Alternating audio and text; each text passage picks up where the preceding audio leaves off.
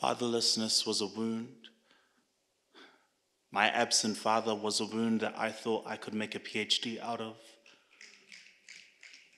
Thought I could find the validation that I so desperately wanted from my dad, but from academia and from the arts. But I realized after five years after graduating that I needed to stop writing, speaking, making from the void. And I guess I got curious about what it would look like if I if I could write from a place of connection. What might it look like if the stories that I told came from curiosity and not from a place of hurt? What would it look like if I stopped chasing clicks and started facing the fracture? What would it look like if I accept my father for the dad that he is and stop wanting him to be someone else?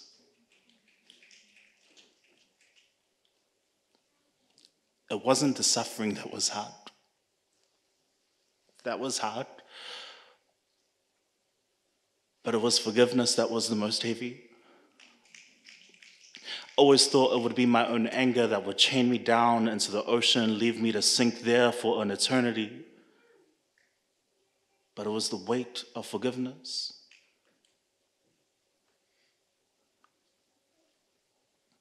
In my therapist's office, in my therapist's office, I hear him say that the true making of a man doesn't truly begin until he is able to see his own father for the son that his own father could never see him for.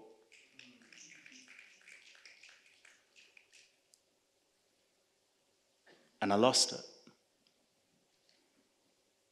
Because it's then that I realized that not only am I supposed to look after my inner child, but maybe acknowledge that he has an inner child too.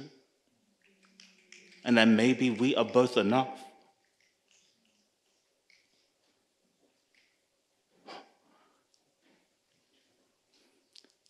That the little awkward kid who could never fill out his big island frame, and that the staunch, smart mouthed kid from Ha'apai who had to father his own brothers so that by the time he had his own kids, all he wanted to do was hawa are enough.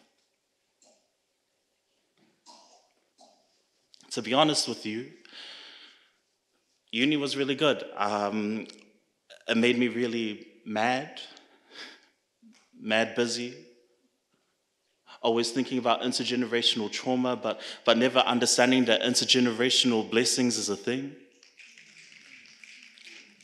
And I can't tell you wholeheartedly that I still believe that intergenerational healing is possible for me, but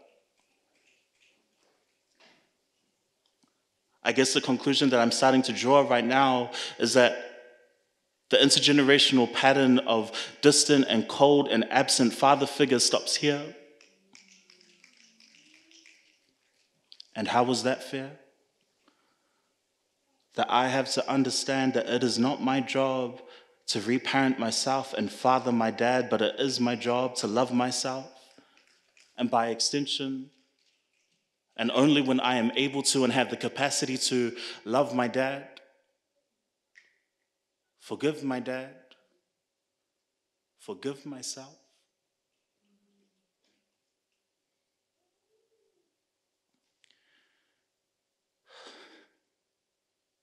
But this is my life.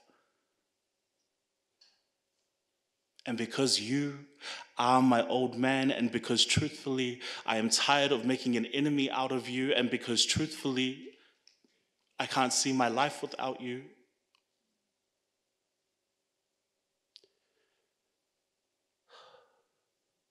I've come to understand that some things are better off in poems that the hardest poem I will never be able to finish writing, and also the most important poem I will never be able to finish writing, is our relationship and how we navigate that. That will be the heliaki that I continue to try to get out of my bones for eternity.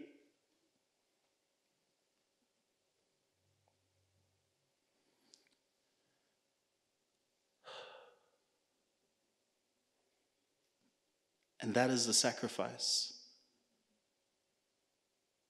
how messed up is it when it is not your heaviness that scares you, but the idea of freedom? How tired must you become when you have nowhere else to run and know that it is only the work that you have left to do?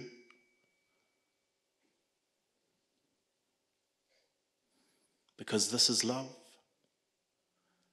Because this is the weight of forgiveness and the understanding of how we exist. This is what it means to surrender and leave that stuff there so that we have a chance of healing, so that I can hear you better, so that I can hear myself.